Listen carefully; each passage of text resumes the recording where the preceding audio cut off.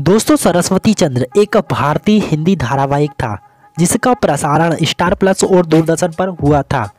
यह TV show उस समय का सबसे पॉपुलर शो था। यह शो 15 फरवरी 2013 से शुरू होकर 20 सितंबर 2014 तक चला। इसमें सरस और कुमुद की जोड़ी को काफ़ी ज़्यादा पसंद किया गया था।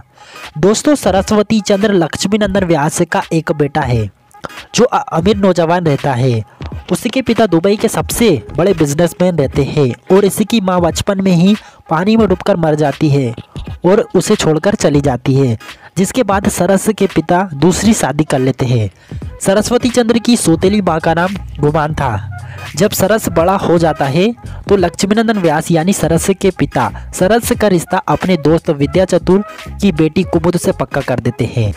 लेकिन सरस कुमुद को बिना देखे चिट्ठी लिखकर मना कर देता है, जिसके बाद कुमुद उसको बोलती है कि यहाँ मेरे माँ बापों के सामने ना करके जाना, अगर तुम्हें इतनी हिम्मत है तो। ये बात सुनकर सरस गुजरात कुमुद के घर आ जाता है, जिसके बाद वह सभी के साथ घुल मिलकर रहने लगता है।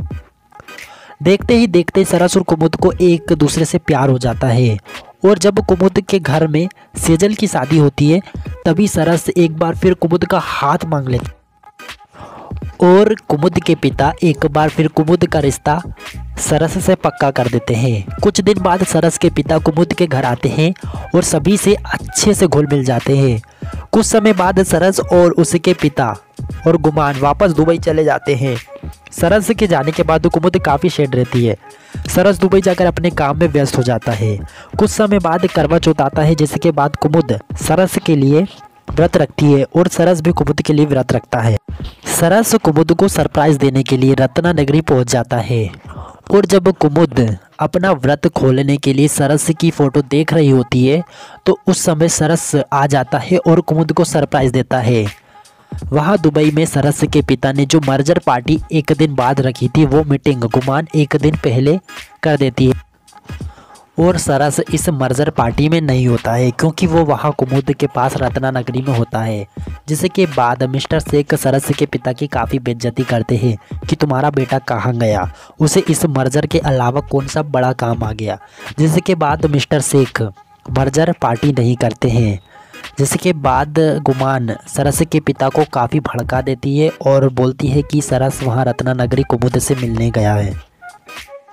गुमान बाप बेटे के बीच झगड़ा कराने के लिए सरस की माँ के द्वारा लिखा गया हुआ पत्र सरस की फ़ाइल में रख देती है।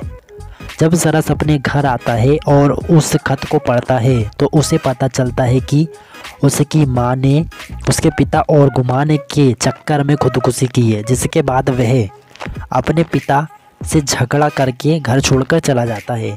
जिसके बाद सरस अपनी माँ के सदमे से नहीं निकल पा रहा था। और उसने सोचा कि अब मैं अमीर बाप का बेटा भी नहीं रहा। और अब मैं कुमुद का ख्याल कैसे रखूँगा? और वो कुमुद को फ़ोन करके शादी के लिए मना कर देता है। शादी इनकार के बाद कुमुद का दिल टूट जाता है। और परिवार वालों के मान रखने के लिए वो प्रमादन धर्माधिकारी से शादी कर लेती है। जब सरस को अफसोस होता है कि इन सब बातों में कुमुद की कोई गलती नहीं है इसलिए वह कुमुद से माफ़ी मांगने रत्नानगरी जाता है। जब सरस दरवाजे पर पहुँच जाता है और दरवाजे पर लिखा देखता है कुमुद और प्रमाद तो वह ये देखकर हैरान हो जाता है। और शादी रोकने के लिए जैसे ही अंदर जाता है, उसी समय सोलंकी उससे बदला लेने के लिए आ जाता है और सोलंकी और उसके गुंडे सरस की बहुत पिटाई करते हैं और उसे रास्ते में फेंक देते हैं मारकर। वहाँ प्रमाद और कुमुद की शादी हो जाती है और कुमुद की विदाई हो जाती है, जिसके बाद उनकी गाड़ी रास्ते से गुजरती है। तो प्रमाद की बहन सरस को रास्ते में जख्मी पाती है और कार में बिठाल कर अपने घर ले जाती है। जब कुमुद को पता चलता है कि सरस यहाँ उसके ससुराल में है, उसे वहाँ से जाने को बोलती है, पर सरस वहाँ से नहीं जाता। जब कुमुद को पता चलता है कि उसका पति शराबी है तो वह उसे सुधारने की कोशिश करती है, पर प्रमाद नहीं सुधरता और कुमुद कर अत्याचार करता है। जब ये बात सरस को पता चलती है तो वह कुमुद को बोलता है कि तुम इसे छोड़कर अपने घर चली जहाँ तुम खुश रहती थी। पर कुमुद बोलती है कि आज मैं यहाँ सिर्फ़ तुम्हारी वजह से हूँ। कुछ समय बाद प्रमाद सुधरने का ढोंग करता है और एक दिन कुमुद को कहीं बाहर एक बंद होटल में ले जाता है। पर वहाँ सरस पहुँच जाता है और कुमुद की जान बचा लेता है। और सरस और कुमुद रत्ना नगरी पहुँच जाते हैं। और कुमुद एक बार फिर अपने घर में रहने लगती है और सरस भी एक बार फिर वहीं पर रहकर अपनी माँ के नाम से स्कूल बनाता है। बाद में इन दोनों को एक दूसरे से फिर प्यार हो जाता है और ये लोग शादी कर लेते हैं। कुछ समय बाद कुमुद को एक लड़की होती है और ये सीरियल वहीं पर ख़त्म हो जाता है।